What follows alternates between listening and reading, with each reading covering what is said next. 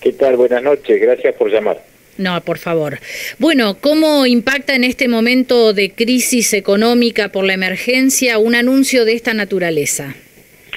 Y es muy importante realmente porque la actividad económica que tenemos en Neuquén, eh, esto es una, insufla un poco de oxígeno. Eh, sí, hoy, tal cual como anunciaste en la introducción, a las 11 de la mañana se hizo la presentación del Plan Capital. Eh, fuimos invitados varias eh, organizaciones, ya sea cámaras como la Cámara de Construcción, este, ACIPAN, eh, estaban también los sindicatos de comercio UOCRA, de informáticos también, estaba CALF, estaba EPAS, o sea, estaba la Universidad del Comahue también, realmente muchas instituciones. Eh, es muy interesante porque realmente es un plan que eh, va a, a, volcar como 7 mil millones de pesos sobre la economía neuquina, eh, con una, una salvedad muy interesante que va a ser para contratar exclusivamente a empresas neuquinas y también proveedores neuquinos, ya sea de corralones, de todo lo que sea para obra pública y todo lo que sea necesario para, para este, este cometido. Así que en este momento de, una situación económica tan difícil para el comercio neuquino es una, una muy buena noticia. Claro, no es solo, me imagino, el compre local, sino también eh, la mano de obra local, ¿no? Y esto genera realmente que todo ese dinero circule en, eh, por doble vía, ¿no? Por el de los comercios y también la gente que trabaja, cobra su sueldo y consume. Exactamente, por eso estaban todos también este, los miembros del sindicato.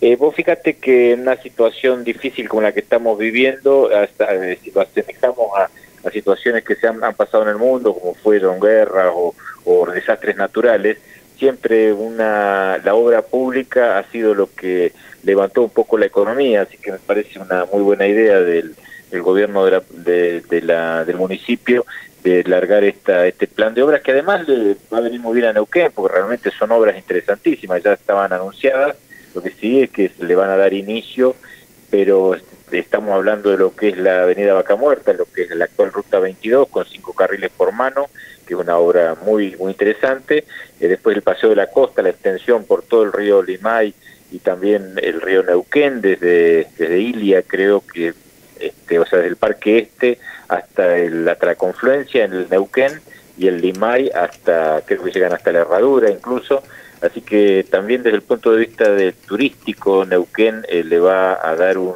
un impulso esto, porque toda la, gente de la zona ya estaba viniendo antes de la pandemia el fin de semana a Neuquén por compras y para hacer paseos y esto va a ser un atractivo más, así que creo que es todo positivo. Bueno, la verdad que tener este tipo de noticias dentro de lo que estamos viviendo, estamos viendo que la economía cayó algo más del 26% en el mes de abril respecto al año pasado, que la construcción es eh, el rubro más afectado con algo más del 86%. La verdad que tener anuncios de obra pública vienen muy bien, por lo menos levantan un poquito más el ánimo, ¿no?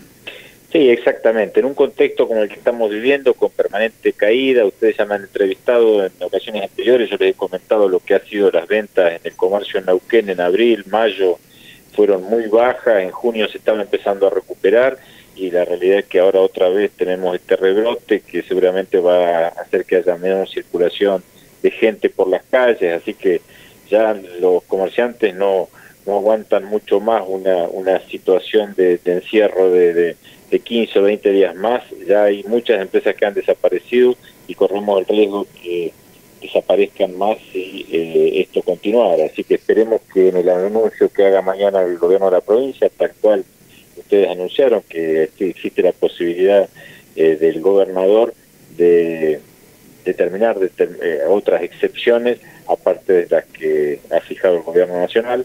Esperemos que el comercio siga funcionando como lo ha hecho hasta ahora. Así es, aparentemente así va a suceder, lo que se estaría tocando serían las salidas recreativas y un poco la circulación, pero no el cierre de comercios.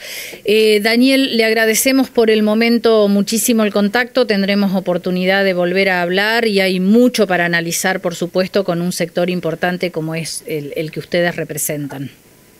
Bueno, muchas gracias a ustedes por llamar. Muchísimas gracias.